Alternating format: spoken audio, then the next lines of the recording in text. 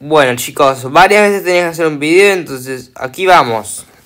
Hoy voy a hablar de este tipo de cosas porque me parecía la única idea, pero la verdad, o sea, me parecía algo que podía hablar sobre, Emma, podía simplemente expresar y podía hacerlo de video y podía hacer un run pequeño para rellenar un poco entre los videos que tengo antes, tipo los que hay como ahora, en estos momentos, la y la animación, o sea, tipo poner algo en el medio para rellenar y para que no haya tanto aburrimiento en mi canal.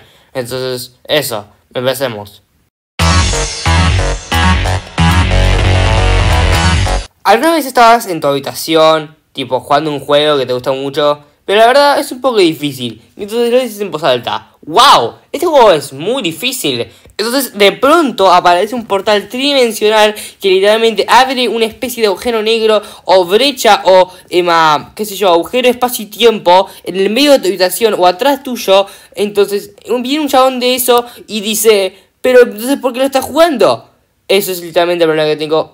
Algunas veces nada más y es muy estúpidamente, bueno, frustrante. Porque la verdad hay gente que simplemente, por ejemplo, dice, Emma, ¿qué otro ejemplo puedo dar? Hay un video que es extremadamente frustrante, que lo quiero ver porque nunca, nunca vi este tipo de videos, por ejemplo, yo estaba viendo un video, ¿no? Y entonces viene un alien, qué sé yo, un cualquiera, un, un chabón y una chabona o una chabona, no sé.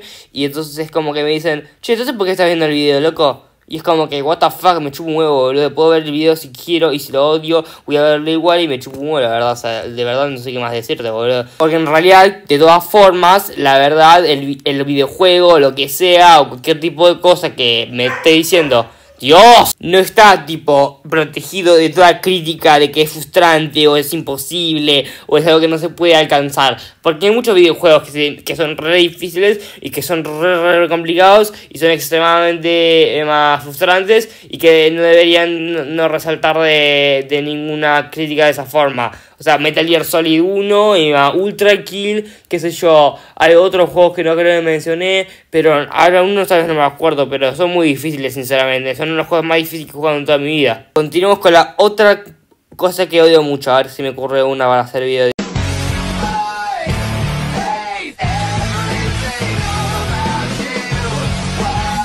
Ok, tal vez mucha gente diga que esto es irónico porque literalmente soy youtuber con 100, 100 suscriptores más de 100 suscriptores. Pero la verdad, me chupo un huevo, me chupo el pico. O sea, no voy a hacer, o sea, aún no voy a hacerlo, pero en un momento lo voy a hacer. A un momento lo voy a hacer, pero me chupo un huevo.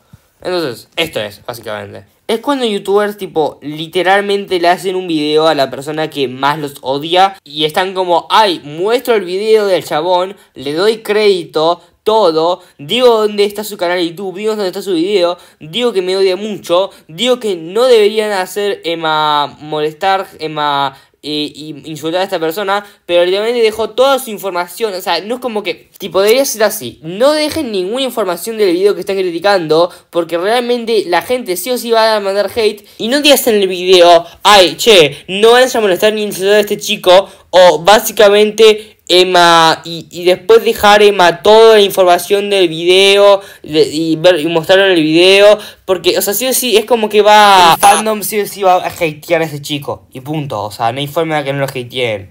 Si vos un youtuber viendo este video que es extremadamente famoso y no va a hacer esto que yo dije, bueno, Emma, mm, o sea, creo que la verdad no te estoy respetando, ¿sabes? Que no, que no lo hagas. No porque no querés, sino porque la verdad es que admitís que estás enojado con el chico y querés hacerle un video de hate. Porque si o si el fandom va a ser tu culpa, no vas a tener ninguna forma de detenerlo. De que vos sabés de que todo el mundo va a ir a ese video y va a hatearlo. O sea, esa es la historia completa de lo que va a pasar con vos el chico.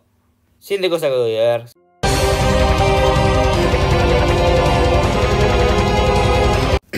Voy a ponerles un escenario. Imagínense que están en la calle comiendo una, una empanada de un restaurante y entonces dicen ah para poder seguir Emma con qué lindo día y viene un chabón y le dice azul. Como como un poquito molesto, ¿no? Entonces están como mirándolo como una como una cosa rara, como que como que hizo algo raro porque literalmente quién va a hacer eso en, vía pública en, un, en un, al lado de un restaurante, y se va, y es como que vos lo, lo vas hacia él porque querés hablar con él, y entonces le tocas el hombro, le agarras el hombro y, y le das vuelta y le decís, che, ¿qué te pasa? Y es como que él dice, so. Esta gente es insoportable, sinceramente. O sea, no se me ocurre otro chiste así, pero es como que toman cada oración, cada tipo de, de palabra y, y, la convierten en algo insoportable hasta que no puede ser parado de ser exprimido. Es como que, o sea, qué insoportable, ¿no? Porque puedes decir cualquier cosa y ellos te pueden trolear. O sea, antes los troleos eran como muy raros que pasen seguramente, porque necesitaban la preparación, necesitaban algo especial. Ahora no, solo decís una palabra, una frase, una, una oración o una parte, qué sé yo, y te trolean automáticamente, o sea, es una cagada de mierda. Y además con lo fácil que es, o sea, simplemente tenés que encontrar una palabra como, por ejemplo, queso, o sea, por ejemplo, que, o sea, tenés que encontrar una cosa, so, y so es zorra, y, y la, ya me sale la historia, boludo, pero es, es, re larga, boludo. Hay como un meme entero en donde están como zorra, y es insoportable porque realmente esto pasa, o sea, y eso. Pero bueno, terminamos con el video, ¿ok? Entonces, ahora, lo que haremos es terminar este video porque ya no se me ocurren cosas que odiar. Pero sinceramente fue divertido, entonces espero que les haya gustado el video.